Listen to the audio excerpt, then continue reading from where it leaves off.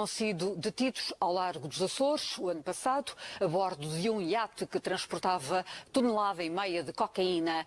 A maior apreensão de droga feita em alto mar. Em junho do ano passado, a Polícia Judiciária anunciava a captura de uma tonelada e meia de cocaína. A defesa requereu abertura de instrução e contestou a abordagem ao iate por considerar que não estava em águas nacionais e ainda duvidou dos mais de 200 milhões de euros que o Ministério Público atribuiu ao valor da droga apreendida, o que obrigou a novas diligências. Efetivamente, veio a ser efetuada até pela própria Polícia Judiciária e que levou a que efetivamente os trabalhos se prolongassem por algum tempo. O meu cliente estava acusado de homicídio qualificado e era uma acusação profundamente injusta que não tinha na sua base indícios nenhuns.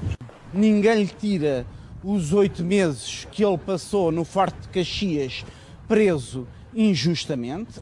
Para Fráguas, portanto, boa tarde, muito obrigado ter aceito uh, o, nosso, o nosso convite. Agora, a questão é, fez justiça com o Hugo, na sua opinião, ou não? Boa tarde, Boa sem tarde. dúvida nenhuma. Fez-se justiça e, neste caso, fez-se justiça não em relação a um rico, não em relação a um poderoso, como por vezes eh, se diz que a justiça está reservada para esse tipo de pessoas mais abastadas, mais influentes e que aqueles de uma classe social mais baixa, mais desfavorecidos economicamente. Era o caso, não é? E que é manifestamente muito... o caso. É? O meu ideal é o ideal das vítimas.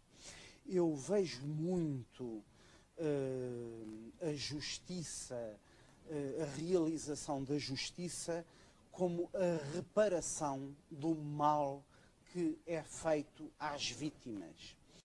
Do crime mais bárbaro de que eu tive conhecimento em 28 anos de carreira.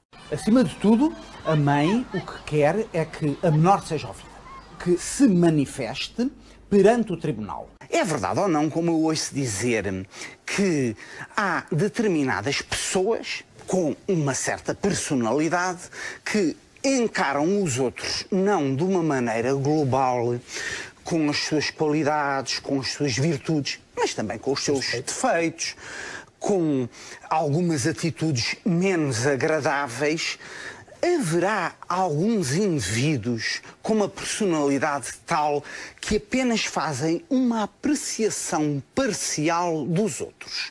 E que quando alguém tem um gesto menos simpático, Uh, vão reagir de forma impulsiva e pode ser então uma pessoa um que ama.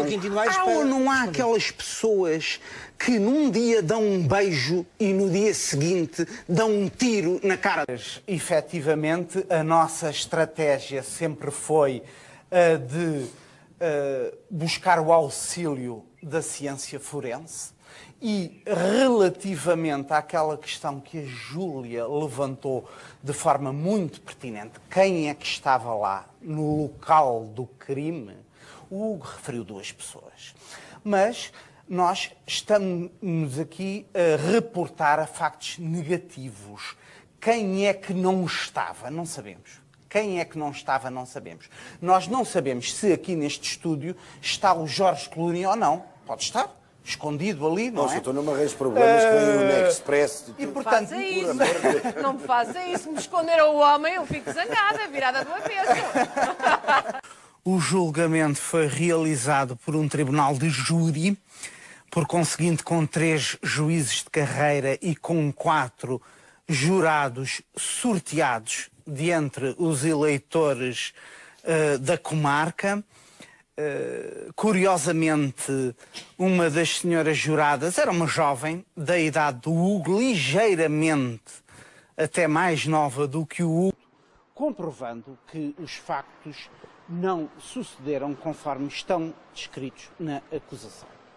Certamente estariam convencidos de que prevaleceria aquela opinião de que o autor do assassinato seria um outro indivíduo, não é verdade?